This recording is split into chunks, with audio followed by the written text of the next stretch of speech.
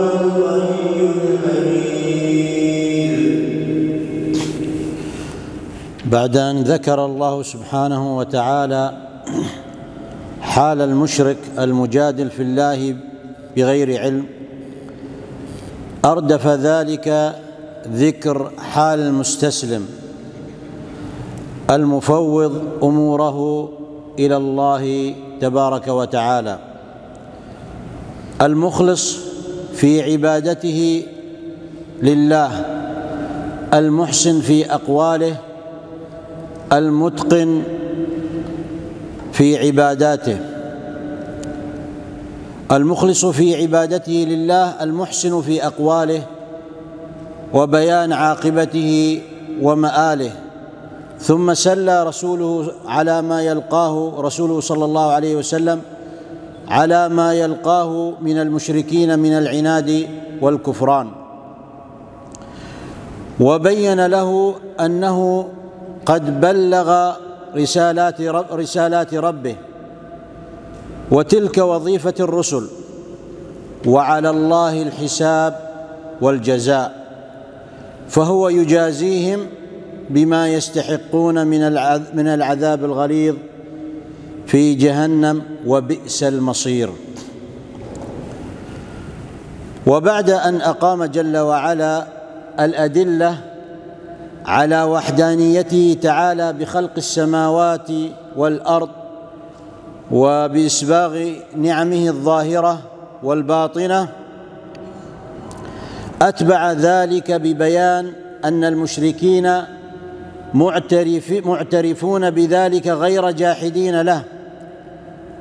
بل أكثر هؤلاء المشركين لا ينظرون ولا يتدبرون من الذي له الحمد والشكر.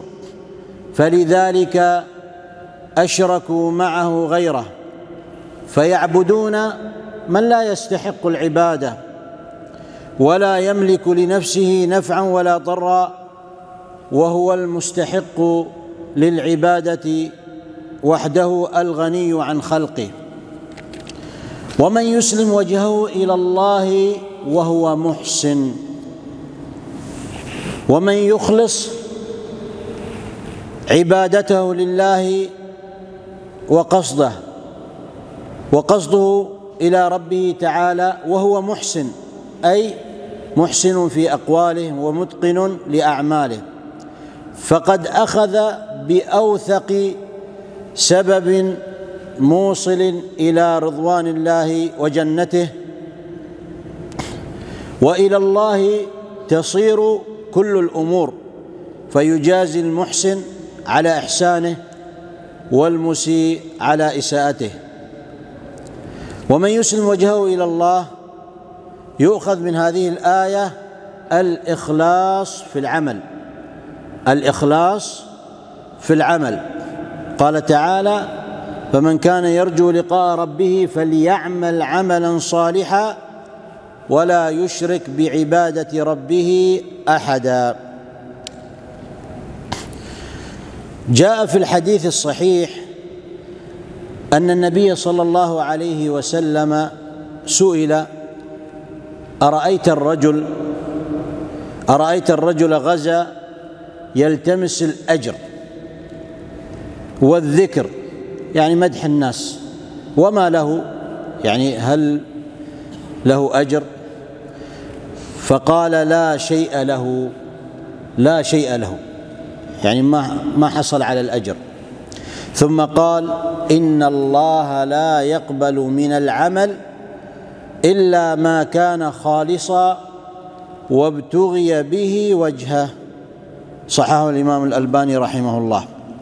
قوله وهو محسن بأن كان عمله مشروعا اتبع فيه الرسول صلى الله عليه وسلم. وجاء في الحديث الصحيح من حديث عائشة رضي الله عنها أن النبي صلى الله عليه وسلم قال من عمل عملا ليس عليه أمرنا فهو رد. أي مردود على صاحبه. لا يقبله الله. لا يقبله الله. لماذا؟ لأن العبادة العبادة للعبادة شرطان. لأن للعبادة للعبادة شرطان. الشرط الأول الإخلاص. والشرط الثاني المتابعة. أن تكون مخلصا في عملك تبتغي بذلك وجه الله. لا رياء ولا سمعة ولا تنتظر من الناس مدحا ولا ثناء. وأن يكون عملك الشرط الثاني موافقا للسنة موافقا لما كان عليه النبي صلى الله عليه وسلم. يعني تصلي مثل ما كان يصلي النبي صلى الله عليه وسلم. ما تأتي بأشياء جديدة تبتدع من عندك أو تأتي بأذكار محدثة. مثلا بعضهم يقول من قال ذكر كذا ألف مرة فله كذا يعني يأتي أشياء مبتدعة. لأن الدين كامل. اليوم أكملت لكم دينكم وأتممت عليكم نعمتي ورضيت لكم الإسلام دينا. وليس هناك بدعة حسنة. بعضهم يقول بدعة حسنة. لا كل بدعة ضلالة. كل بدعة ضلالة. فلا بد للعبادة إذن كم شرط؟ الإخلاص شرطان والمتابعة تكون مخلص في عملك تعمل هذا العمل لوجه الله عز وجل. وعملك يكون موافق لما كان عليه النبي صلى الله عليه وسلم. ما تأتي بالبدع. قال شيخ الإسلام ابن تيمية رحمه الله تعالى وبالجملة وبالجملة فمعنا أصلان عظيمان. أحدهما ألا تعبد إلا الله. ما تعبد إلا من؟ إلا الله جل جلاله. ثانيا أن تعبده ألا تعبده إلا بما شرع. ما تأتي من عندك؟ تأتي أشياء جديدة محدثة؟ ألا تعبده إلا بما شرع. لا تعب لا تعبده بعبادة مبتدعة محدثة. وهذان الأصلان هما تحقيق شهادة أن لا إله إلا الله وأن محمدا رسول الله. وأن محمدا رسول الله. كما قال تعالى ليبلوكم أيكم أحسن عملا. قال الفضيل رحمه الله أحسن العمل أخلصه واصوبه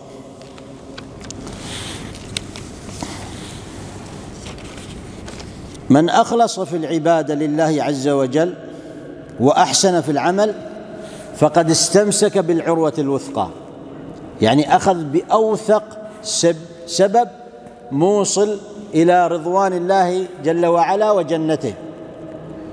وقال ابن عباس العروة الوثقى لا إله إلا الله.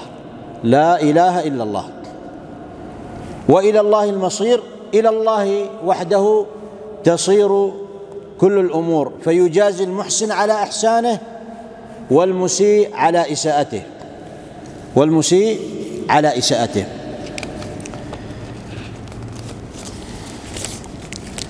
ومن يسلم وجهه إلى الله. أيها الإخوة بارك الله فيكم ليس الإسلام كلمة تقال باللسان فحسب. ولكنه اعتقاد وقول وعمل. وإذا صدق المسلم في إسلامه وتوجهه إلى الله أسلمت جوارحه وأذعنت وانقادت ورق قلبه وانشرح صدره فجملت أخلاقه وحسن تعامله وصلح عيشه واستقامت حياته وأحب الناس وأحبوه وأعطاهم وأعطوه واستفاد منهم واستفادوا منه.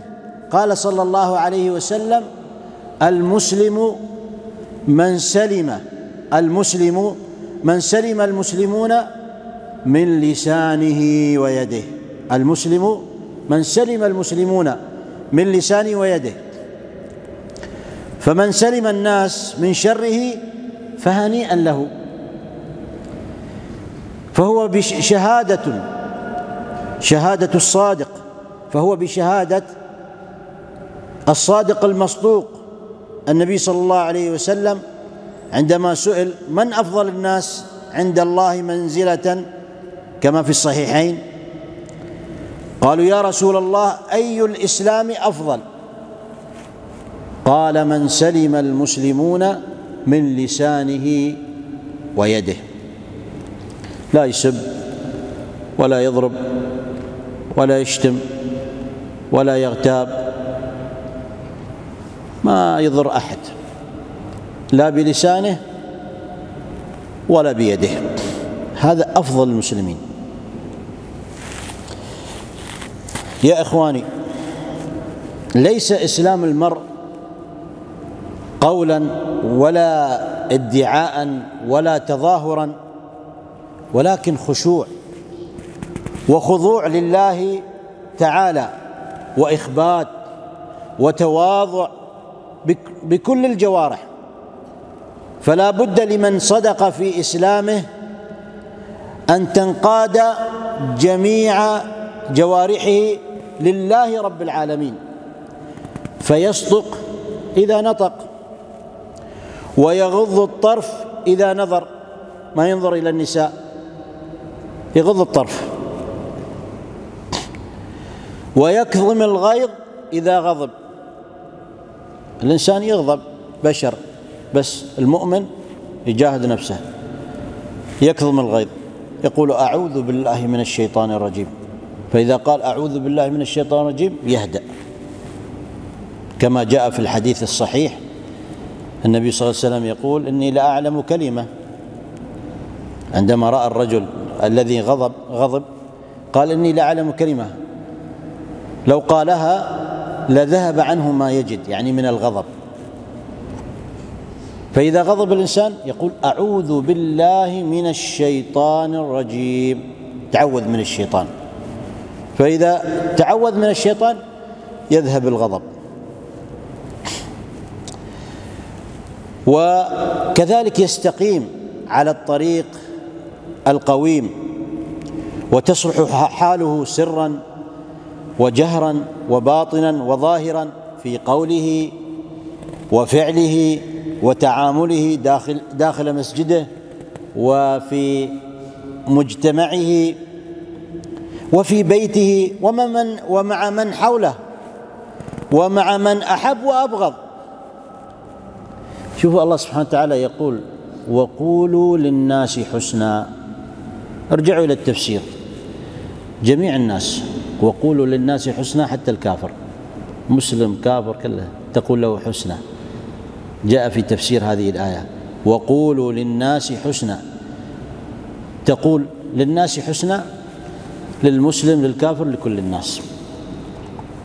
هذا قول الله عز وجل. وقولوا للناس حسنا والنبي صلى الله عليه وسلم عندما جاءه الصحابي قال إن قومي إن قومي أهل كفر وربا وزنا وكذا ادعوا الله عليهم قال الله يهلكهم.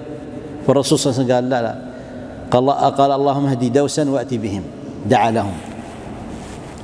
فكان النبي صلى الله عليه وسلم شديد الرأفة شديد الرحمة ينظر إلى الناس نظرة رحمة وشفقة.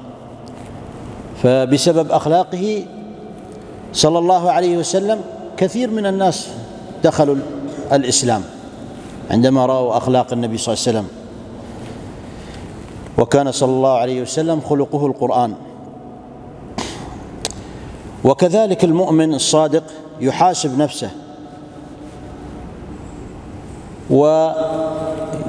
ويصدق الله يكون صادق مع الله مع الناس. في كل أحواله يكون صادقا. لا يتعامل إلا بالصدق. يعني قلبه نظيف ما يتعامل إلا بالصدق. يتعامل بالصدق مع الناس. حتى ولو الناس كذبوا عليه كذا هو يتعامل بالصدق. يتعامل كأنه يتعامل مع الله عز وجل. ذاكرا الموت وسكرته.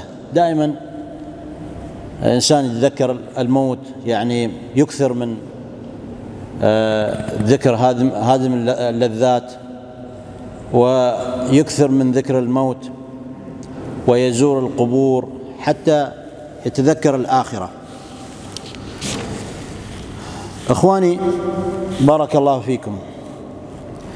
إن العبد إذا أسلم وجهه لله وانقاد له واستسلم صار سمعه وبصره لله وأسلمت يده ورجله لله وكان لله أخذه وعطاؤه فإن نظر نظر فيما أحل الله وإن استمع فإلى ما يرضي الله وإن مشى فلله وإن أحب فلله وإن أبغض فلله وإذا كان المرء كذلك ووصل إلى هذه المنزلة اذا المنزلة العالية الرفيعة أحبه الله. ومن أحبه الله فطوبى له فهو الموفق فيما يأتي وفيما يذر وهو المسدد في القول والعمل. وهو المجاب دعاؤه. إذا دعا الله الله يستجيب دعاءه. إذا دعا الله يستجيب الله دعاءه. المسموع صوته. المقبول سؤله. المحفوظ من كل ما يضره ويسوءه. وفي الحديث القدسي وما تقرب الي عبدي بشيء احب الي مما افترضت عليه وما يزال يتقرب وما يزال عبدي يتقرب إلي بالنوافل حتى أحبه. فإذا أحببته كنت سمعه الذي يسمع به وبصره الذي يبصر به ويده التي يبطش بها ورجل ورجله التي يمشي بها وإن سألني لأعطينه. ولئن استعاذني لأعيذنه. رواه البخاري. الله أكبر. هكذا المؤمن. إذا سأل الله عز وجل الله يعطيه ما يرده. وإذا استعاذ من شيء يحفظه من كل سوء من كل سوء.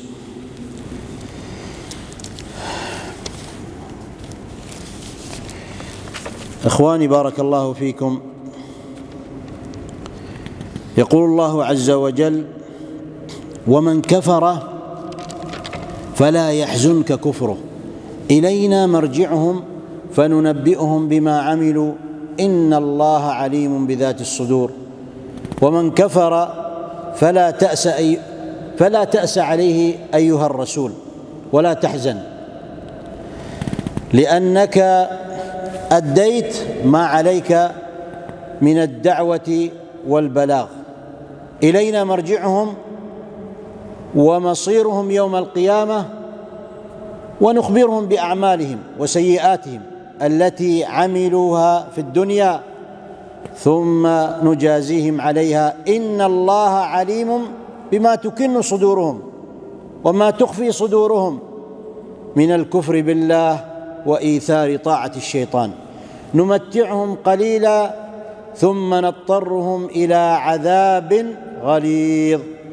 نمتعهم بما نعطيهم من الملذات في الدنيا زمنا قليلا. ثم نلجئهم يوم القيامة إلى عذاب شديد. ولئن سألتهم من خلق السماوات والأرض ليقولن الله. قل الحمد لله بل أكثرهم لا يعلمون. ولئن سألت أيها الرسول هؤلاء المشركين من خلق السماوات ومن خلق الأرض؟ ليقولون الله. يقولون الخالق هو الله والرازق هو الله. فإذا قالوا ذلك فقل لهم الحمد لله الذي أظهر الحجة عليكم. ولكن معظمهم لا يعلمون. لا يعلمون. حقيقة هذا الأمر لجهلهم ولضلالهم. أيها الإخوة المشركون الكفار مشركون مقرون بأن الله هو الرازق وهو الخالق ولكن هذا لم يدخلهم في الإسلام. ليست الخصومة في توحيد الربوبية. توحيد الربوبية يعني الله الخالق والرازق. هذا هو توحيد الربوبية. ليست الخصومة في توحيد الربوبية لأن الكفار المشركون كانوا يقولون أن الله هو الرازق وهو الخالق وهذا لم يدخلهم في الإسلام. وكانت الخصومة بين الرسل الأنبياء والرسل وبين أقوامهم كانت الخصومة والخلاف في توحيد الألوهية. توحيد الألوهية يعني هم يقولون أجعل الآلهة إلها واحدا إن هذا لشيء عجاب. كيف أعد؟ يقولون أمر عجيب هذا. عندنا عدة آلهة كيف أنت تقول إله واحد؟ إنما إلهكم إله واحد. فكانت الخصومة في توحيد العبادة. هم يقولون الله هو الخالق والرازق ولكن يعبدون غير الله. منهم من يعبد الأشجار. منهم من يعبد الأشجار. وكان بعضهم يعبد النخيل. أشجار نخيل وغير ذلك. ومنهم من يعبد الأحجار. يعبد الأحجار من دون الله عز وجل. الخصومة هي توحيد الألوهية. الخصومة بين الرسل وأقوامهم في توحيد الألوهية إفراد الله بالعبادة. فلذلك إبراهيم عليه السلام أنكر عليهم. فقال لهم أف لكم أف لكم ولما تعبدون من دون الله؟ أفلا تعقلون؟ يعني أنتم مجانين؟ أفلا تعقلون؟ يعني مجانين؟ لأن أنت كيف تعبد؟ حجر أو صنم ما يستطيع يدافع عن نفسه. كيف يدافع عنك؟ هذا بالعقل أفلا تعقلون؟ يوم كسر الأصنام قال أتنحتون أتعبدون ما تنحتون؟ والله خلقكم وما تعملون؟ قال كيف أنتم تعبدون؟ أشياء أنتم نحتموها. هذا ما يدخل في العقل. ما ما ي... العقل العقل ما يقبله. إبراهيم عليه السلام كسر الأصنام. ما استطاع. هل الأصنام استطاعت أن تدافع عن نفسها؟ لا. فراغ إلى آلهتهم. فقال ألا تأكلون؟ ما لكم لا تنطقون؟ فراغ عليهم ضربا باليمين. لأنه خاطبهم خاطب الأصنام. ما لكم ما تأكلون أنتم؟ ما لكم لا تنطقون؟ ما في. فالحمد لله على نعمة الإسلام. من أعظم النعم نعمة الإسلام فاحمدوا الله عز وجل. الحمد لله الذي هدانا لهذا وما كنا لنهتدي لولا أن هدانا الله. لله ما في السماوات والأرض. إن الله هو الغني الحميد. لله سبحانه كل ما في السماوات والأرض. ملكا وعبيدا وايجادا وتقديرا. فلا يستحق العباده أحد غيره. إن الله هو الغني عن خلقه. له الحمد والثناء على كل حال.